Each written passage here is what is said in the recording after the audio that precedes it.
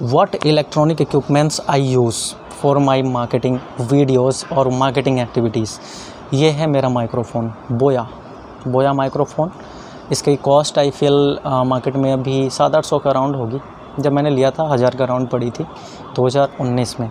सो so yes yes, यहाँ पे देख पा रहे हो आप इसी से मैं अभी वीडियो बना रहा हूँ। तो इसकी क्वालिटी आपको पता चलेगी एंड या इट्स प्रीटी गुड दोनों दो मोड में काम करता है।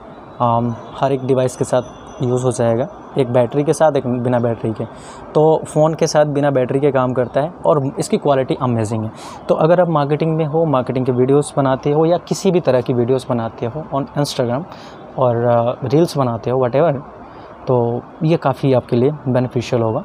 बहुत ज़्यादा अगर आपकी अफोर्डेबिलिटी नहीं है कि महँगे महँगे कॉस्टली माइक्रोफोन्स की तरफ़ जाएँ, जैसे कि एक मेरे को ब्रांड याद नहीं आ रहा। सबसे अच्छा कॉस्टली ब्रांड है वो। सो so, इस पर आप जा सकते हो इसको यूज़ कर सकते हो एंड यू कैन ट्राई या थैंक यू